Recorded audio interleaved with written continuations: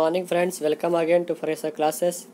Today we discuss our further topic from the subject of material science and metrology. ठीक है? जैसा कि हमने पिछले वीडियो में पढ़ चुके थे पॉइंट इफ़ेक्ट लाइन डिफेक्ट के बारे में उसके इफ़ेक्ट के बारे में।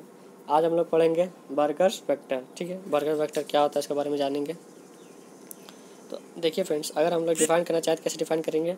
It is defined at edge which describe direction and magnitude of movement of dislocation within a lattice तो सिंपली बर्गर वेक्टर क्या है? एक ऐसा वेक्टर है। वेक्टर क्या होता है? क्वांटिटी होता है या तो स्केलर होता है या फिर वेक्टर होता है। तो वेक्टर में हमें क्या दिखता है? उसका डायरेक्शन एंड मैग्नीट्यूड ठीक है? स्केलर में क्या दिखता है? सिर्फ़ डायरेक्शन तो वेक्टर हमारा जो इसमें मैग्नीट्यूड एंड डायरेक्शन हमारा किस डायरेक्शन पे है? कौन से प्लेन पे हमारा आइटम्स डिसलोकेट कर रहा है? किस डायरेक्शन पे डिसलोकेट कर रहा है? मान लीजिए हमारा ये आइटम्स है। ठीक है? आइटम्स है किसी सिस्टम का। तो ये अगर डिसलोकेशन इसमें प्रोड्यूस हो रहा है तो डिसलोकेशन किस साइड हो रहा है। लेफ़्ट साइड हो रहा है राइट साइड हो रहा है अप साइड हो रहा है डाउन साइड हो रहा है, कौन साइड हो रहा है? या फिर कौन से एंगल पे हो रहा है, ठीक है? किस डायरेक्शन पे हो रहा है? उसका मैग्नीट्यूड क्या है? कितना डिस्टेंस पे वो मूव कर रहा है? तो उसके बारे में कौन बताता है? बर्गर्स फैक्टर ठीक है फ्रेंड्स तो वर्गस factor of edge dislocation is perpendicular to the dislocation line तो हमारा डिसलोकेशन लाइन क्या होता है? जो हमारा डिसलोकेट करता है, उसका परपेंडिकुलर क्या वर्कर वेक्टर हम लोग ड्रॉ करते हैं। मान लीजिए कि हमारा इस डायरेक्शन में डिसलोकेशन हुआ, एक आइटम यहाँ से उठ कर यहाँ आ गया। तो इसका परपेंडिकुलर हम लोग क्या करते हैं ड्रॉ करते हैं। ये हमारा बर्गर वेक्टर से फाइंड करने का मेथड्स है, ठीक है फ्रेंड्स तो edge dislocation will have two degree of freedom इसके दो डिग्री ऑफ़ फ्रीडम है। कौन कौन सा?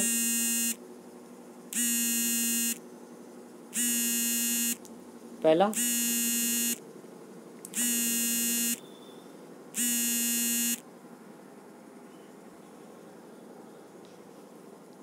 पहला स्लाइड दूसरा क्लिम ठीक है?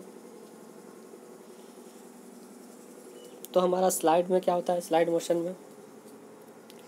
तो एज लोकेशन के बाद दो डिग्री ऑफ़ फ्रीडम होता है, पहला स्लाइड तो स्लाइड की अगर बात करें तो इसमें क्या होता है? Slide motion denotes the movement of edge is dislocation in a direction parallel to close pack plane ठीक है?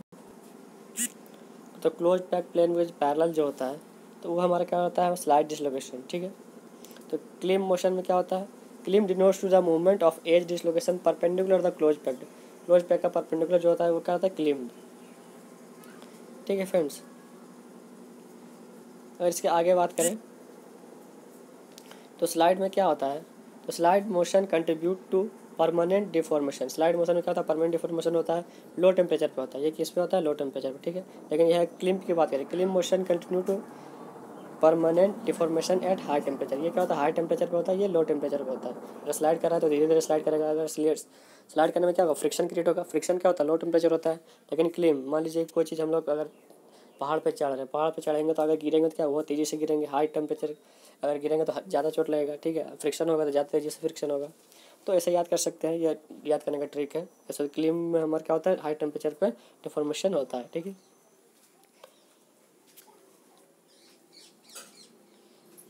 अगले वीडियो में बात करूँगा स्क्रू डिसलोकेशन के बारे में। आज के लिए इतना है। Thank you